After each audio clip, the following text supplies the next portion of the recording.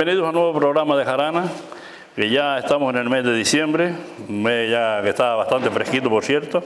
Ya empezamos ya con el tema de las Navidades, Pascuas y de todas las historias, en realidad las cosas alegres y demás, que es el mes más alegre de, del año.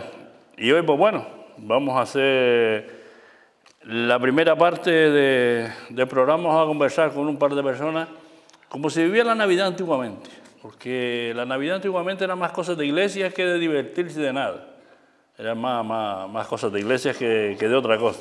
Y entonces va, vamos a hablar un poco cómo, cómo, se vivía en cada uno de los sitios de estas personas, aunque, pertenezcamos aquí a la, misma, a la misma asociación, pero somos de diferentes lugares cada uno. Eh, luego tendremos el, el, Rincón de Gilorio, que hoy eh, tenemos sorpresa, que esto, esto hoy va de largo. Eh, luego, Teresa Grupo nos habla de los, de los antiguos aborígenes o de los aborígenes de las islas. Y Gillian Suárez pues, nos cuenta fiestas, romerías y nos cuenta la agenda municipal festiva.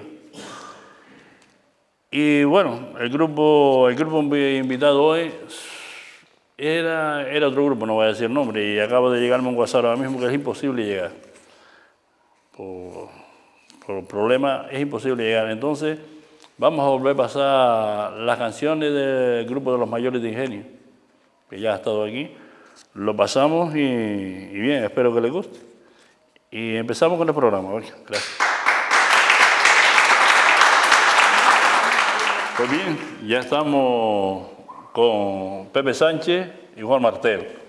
Y lo que vamos a hablar es cómo hoy en día sabemos cómo es la Navidad, como es, es más un tema comercial que otra cosa. Pero cuando nosotros éramos pequeñitos, tanto no es que no, no, podía ser tema comercial porque no había comercios en esta zona. En otros podría haber, pero aquí, yo creo que por aquí donde estamos nosotros de comercio, no hay de la China. Otra cosa quería decir, yo voy a José preparando los focos ahí. Y Inés, tú que dices que era la jefa de los aparatos, eso, tú no te das cuenta que en otro programa le ponen al presentador dos botoncillos aquí y aparte de los focos que mira, vaya, todo el mundo mira, vaya, ¿tú no te has fijado? Pues, pues eh, ponle, ponle, atención para la próxima vez. A ver si me ponen los dos botoncillos aquí. Venga, seguimos. logística. Vale. Logística. Ah, de cualquier forma, también quiere decir que hemos crecido un montón. En principio empecemos muy rudimentario, ya tenemos micros eh, de estos, de corbata de estos, es decir, que tengo los micros de corbata y todas las cosas, decir, que vamos evolucionando. Muchas gracias. Y vamos, vamos a lo que vamos con la Navidad. Quiere decir que estás triunfante. Estamos triunfando.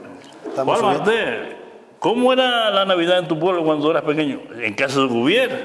Bueno. Las Pascuas es lo que era, ¿no? Las Pascuas eh, no era el pueblo, era la choza. No sí, bueno, la no había pueblo, no, aquí no había pueblo. Aquí era una cuartería, una chocita. Estamos una, hablando de la zona sí, de... De la zona esta, de, de Llanos Prietos. Llanos Linaga, Montaña San Francisco y la laguna, etc. Aquí las navidades no eran, no, no, había navidades como ahora. Eso, el día de Navidad se almorzaba, se, casi la mayoría de las personas freía un baifo, mataba un baifo, lo freía y se comía carne frita y carne de baifo. Mm. Y después no había turrones, no había... Más tarde pegaron a venir peladillas y... Habría, pero aquí no. Aquí no. Eso es seguro sí, que había, pero aquí sí, no. Sí, pero aquí no llegaba, aquí no Porque se yo veía. por ahí, uno de 1880, 1700, sí. y aquí vinieron a llegar a los años 60. Eso, pero claro, esto era, esto era otro sitio. Pero eso era para la gente, para la gente rica, los pobres. ¿Y tú, tú donde naciste fue en los Corralillos, no, Pepe? Yo soy criollo de Corralillo. Pero ahí ya sí había tienda, ya, ya había un pequeño sí, barrio había ahí. una tiendita allí de... Ya no era yo, era un pequeño barrio. No, no, ahí. ya era un barrio de casa antigua, pero era un barrio, un pueblito pequeño. ¿Y cómo se vivía allí en la Navidad? Y como pobre. Sí, pero se hacía alguna, alguna cosilla en Eh, que especial. te- eh, todo el mundo hacía carne para ese día, porque que no tenía carne de baifo tenía una gallina. Lo primero que cogía desnucaba. Eso, y a la iglesia, ¿no? La iglesia ayer era un poco porque rezaban poco, no decir las mujeres rezando el rosario en las casas. Sí, pero eh, el tema este de la misa al gallo, por Una, ejemplo. una vez al mes. Eso no se hacía antes. ¿no? Los curas no eran muy religiosos. Yo de, de lo, de lo que yo me acuerdo, yo de lo más que me acuerdo yo de, de la Navidad, cuando era pequeñito, era eso, lo que dice Juan, que mi madre, pues en vez de hacerlo frito, lo hacían salsa. Que para mí era la salsa más maravillosa del mundo. Tampoco probaba otra. Sí, estaba riquísima. Estaba Es que yo de la carne siempre lo como comido la salsa porque yo la carne soy más ruin que pues, carajo. pues aquello, aquello era una maravilla, pero claro, no probaba otra, aquello era fenomenal, la, la, un bifon salsa y tal. Luego otra cosa que, que no se me quita a mí, porque es eso, que el 24 por la noche no había absolutamente nada. Allí ni se nombraba. Pero sí se venía la misa al gallo. Sí. nosotros. Y claro, el 24 por la noche tenía mi madre para allí la palangana del agua, que cogía y calentaba un pijo en un caldero para allí, un pijo de agua, lo echaba a la palangana para lavarnos a esa hora para venir para arriba. la camisa. Claro, en aquel momento el agua estaba caliente. Sí, pero cuando se saliera al Pero frío, cuando salimos para arriba, señores, un frío, por ahí para arriba. ¿Cuál era el tema? Que la ropa tampoco servía. Era ropa de hilo, que eso no atajaba frío ni atajaba nada. Mira, yo ya te digo, lo que me, no se me quita a mí de la cabeza, nunca lo misa al gallo. Porque yo creo que yo un mes antes estaba pensando en aquella noche la palangana. porque después había que salir a la calle. y, no, y no se me quitaba hasta un día después. Claro, era, era poco. Luego ya, cuando ya era un pollillo que podía ser yo, de, de- de- podía tener a lo mejor 11 o 12 años, ya empezaron algunos muchachos allí de los Prietos hacer para allá atrás, para yo San Manolito Colorado, se juntaban el día, el día 24. Ya se. Se juntaban para allá atrás, se llevaban a veces unos, yo me acuerdo que llevaban unos pulpos, llevaban una vez, y otra vez una sardina, y le preparamos fuego a cuatro palos allí, y nos sentábamos para allí a beber por lo que, lo que había para allí, no sé, por lo más que había era ron, supongo. Ya, ya. Sí. Eh, y hacíamos el azarillo aquel y los entreteníamos allí. Allí fue ya los primeros 24, porque lo que es vivir en mi casa, el 24 es, vino a ser, pues no sé, cuando yo tenía por lo menos 18 años. Aquí, cuando- vaya, lo- vaya. los primeros, los primeros, eh, las primeras navidades que se pegaron a, hacer- a- a promover aquí el, el día 24 por la noche fue en la escuela Fabianito, que empezábamos a cantar versos de, de- Navi- de Navidad y se hacía un portal de Belén. Eso fue, eso era en la escuela. Yo me acuerdo de ver una representación en la escuela, En la escuela y en la iglesia también. Y en la iglesia también se, pero en la iglesia igual, pero no, no se cantaba villancicos, en la escuela sí. Ah, amigo. En la escuela de se- eh, fue cuando primero se empezaron los villancicos aquí en la zona. Pues yo me acuerdo de que hacían representaciones, me acuerdo, de Juan Pastor haciendo de diablo.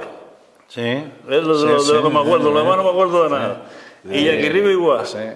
Más, los chiquillos en esos entonces, a- le- los comían la cabeza con el diablo para arriba, el diablo para abajo, se hacía. estábamos asombrados. Y luego salía en el portal de ver el diablo para allá y para acá, pues, lo que te acuerdas del diablo.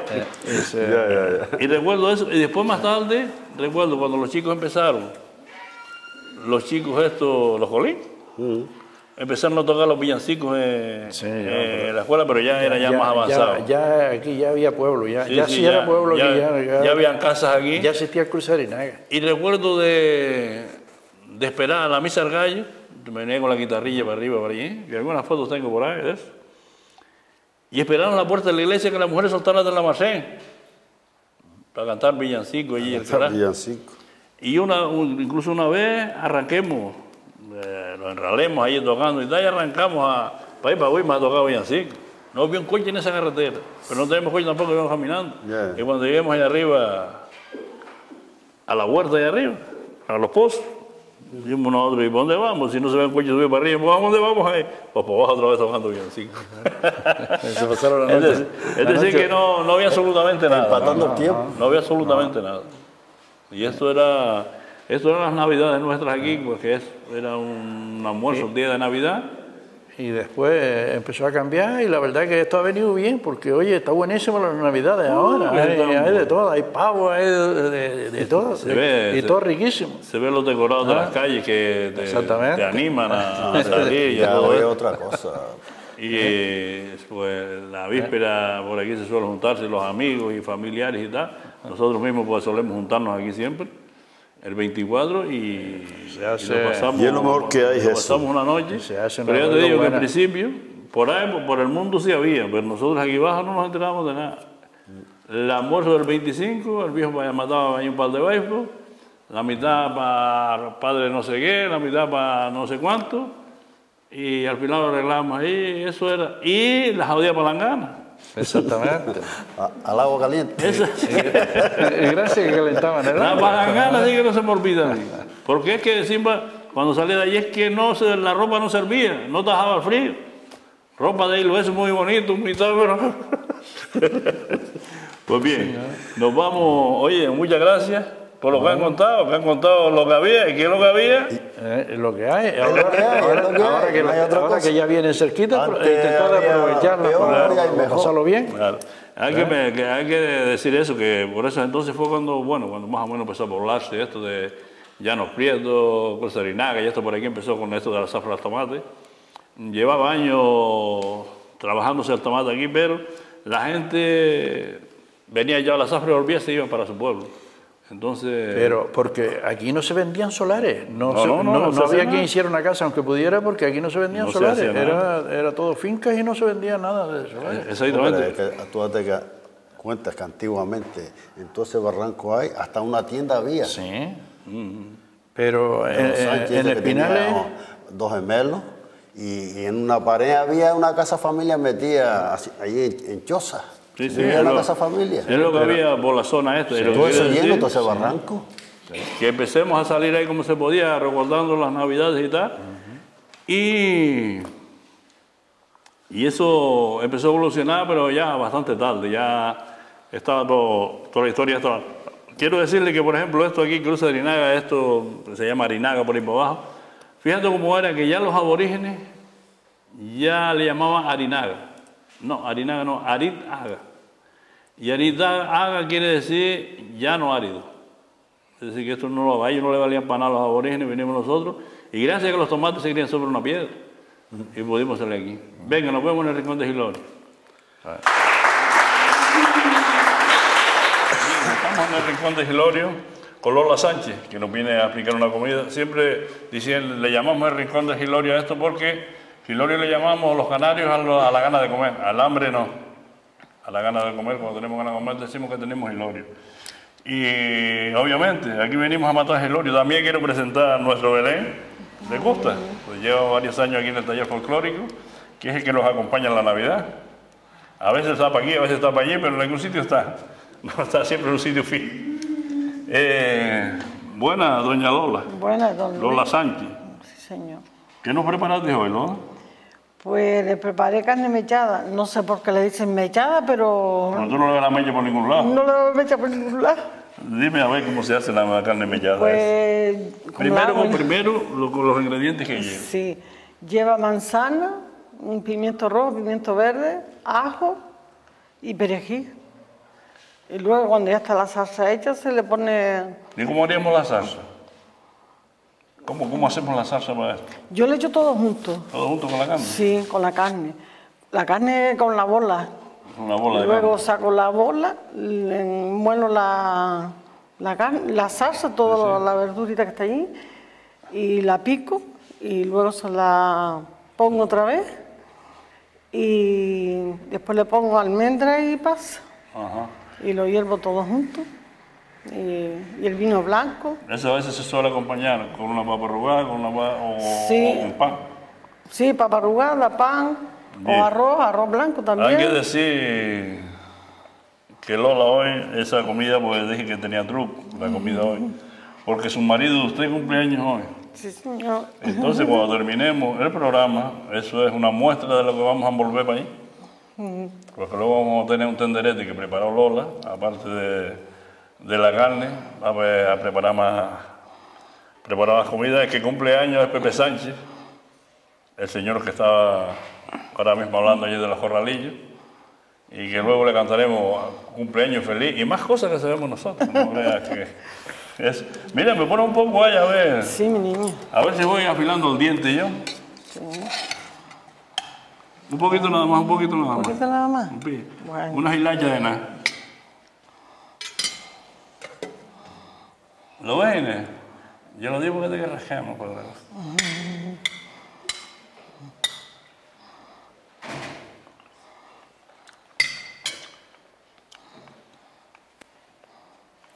Está muy buena y además con el puntito manzana. Está muy buena, ¿eh? Felicidades, señora. Gracias. Que María lo va a celebrar hoy por todos los actos. Pues gracias Lola por compartir el ratito este.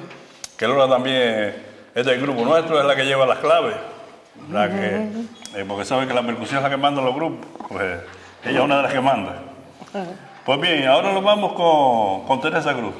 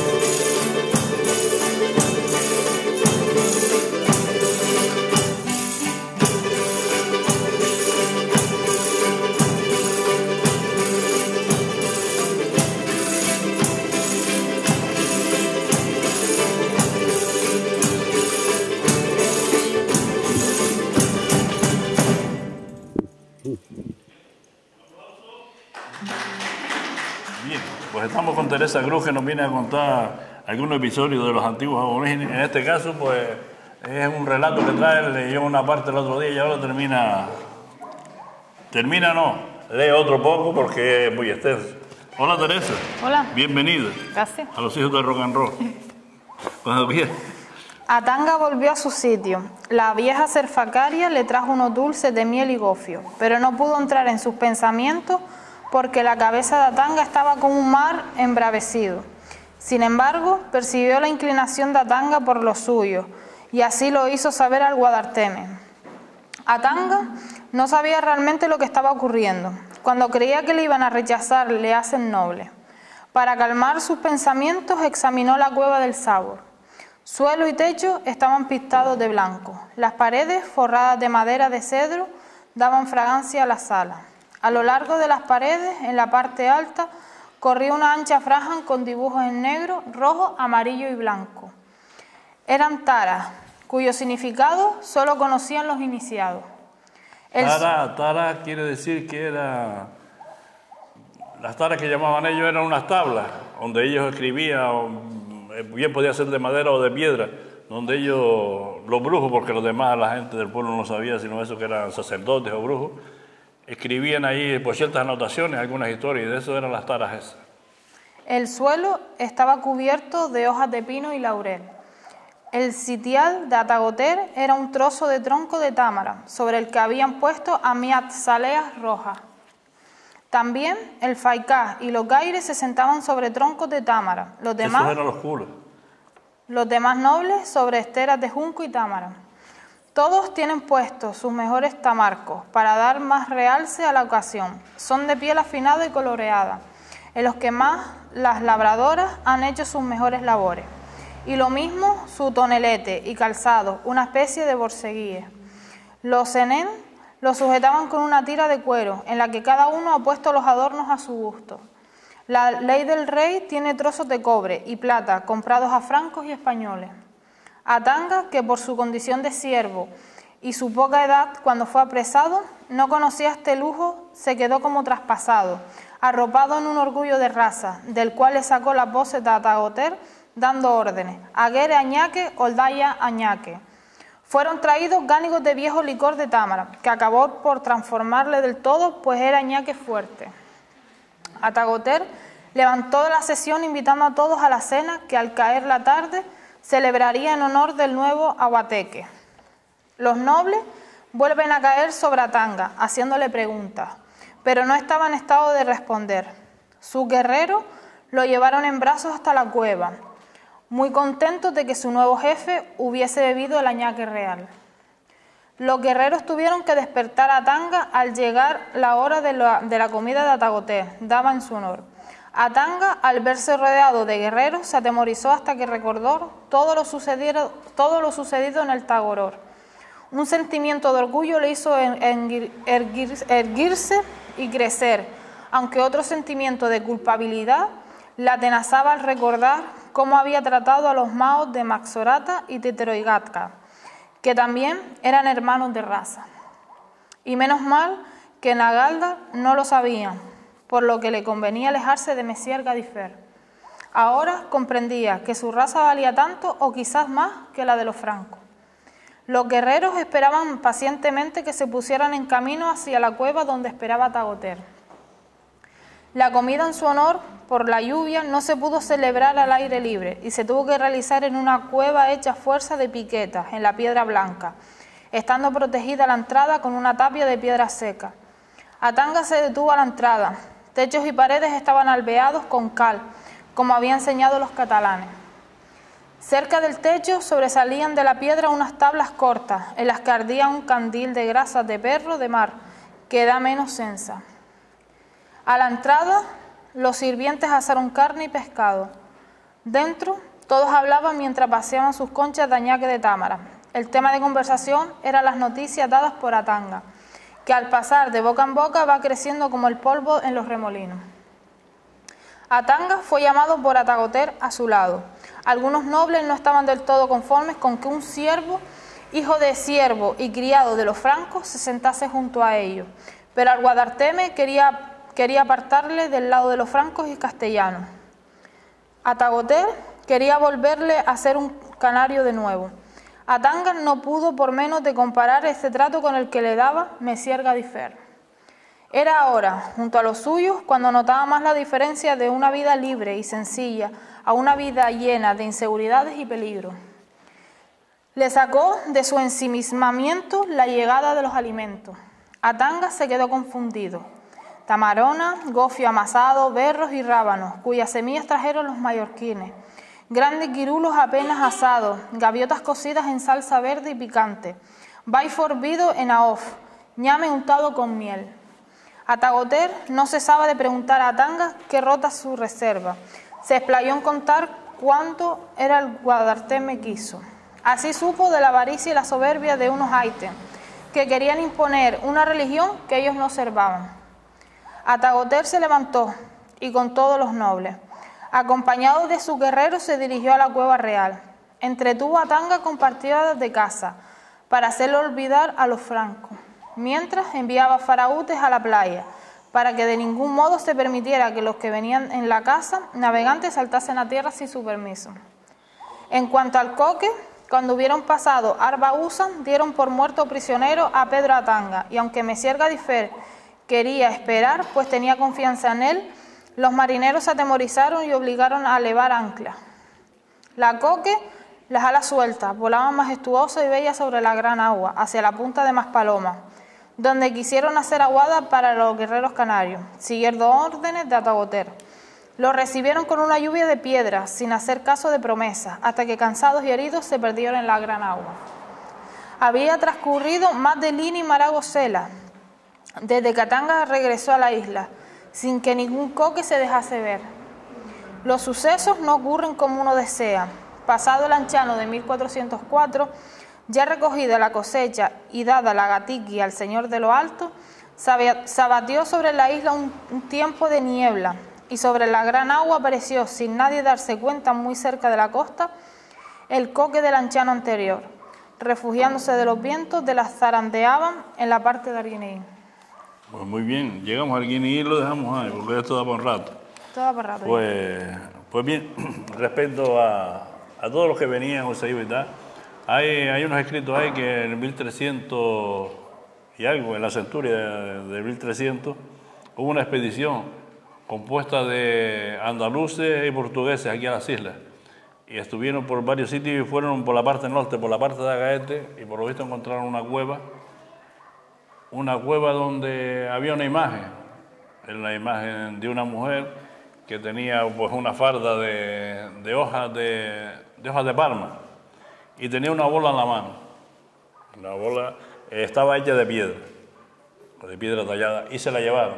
La cogieron y porque aquello era como un santuario o algo que encontraron allí y se la llevaron. Por eso que, que tenemos la, la imagen de Tara, que es la que se encontraron ahí arriba en el barrio de Tara Anterde, pero que sepan que hay noticias de que anteriormente había otro ídolo antes. No tenía que ser anteriormente que eso, porque seguramente Tara a lo mejor era más vieja, ¿no? Pero que hubo otro, otro ídolo aquí y se lo llevaron los, los andaluces y portugueses. Muchas gracias, Teresa. Gracias a ti.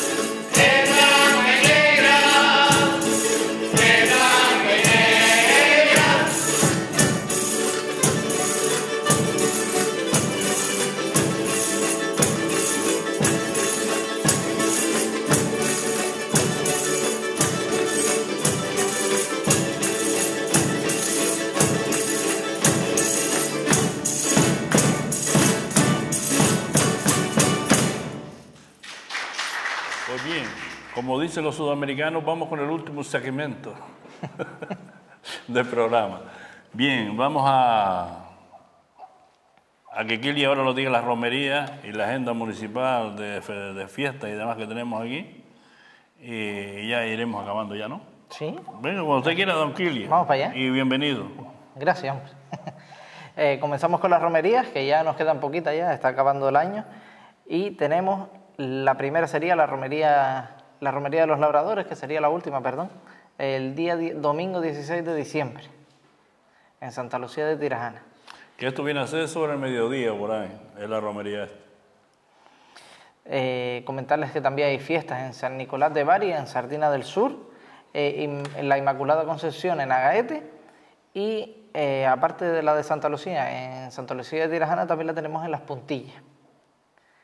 Eh, vamos ahora con la agenda de cultura en el municipio de Agüimes, que el sábado día 15 de diciembre eh, la Orquesta Sinfónica de Las Palmas eh, nos trae su, su actuación al Teatro Cruce de Cultura a las ocho y media con un precio de 10 euritos, titulado Sui Generis. Y ahora pues pasamos a las fiestas de la Inmaculada Concepción y Santa Marta en el polígono residencial de Arinaga. Eh, com- en- comentarles que el día 5 de diciembre tenemos a las 9 de la noche Escala Nifi y Verbena con David Llanes.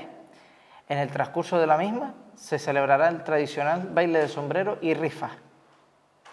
Pasamos ahora al jueves 6 de diciembre, que tenemos el Día del Niño. De 11 a 2 de, al- de al mediodía tenemos el ludopar infantil. A las 9 de la noche, escala NIFI infantil. Pasamos ahora al viernes 7 de diciembre, que sobre las 10 y media de la noche dará comienzo la verbena con el grupo musical Leyenda Joven y aparte también un DJ. En el transcurso de la misma será el baile de la escoba y, rifas. El sábado día 8 de diciembre tenemos la festividad de la Inmaculada Concepción.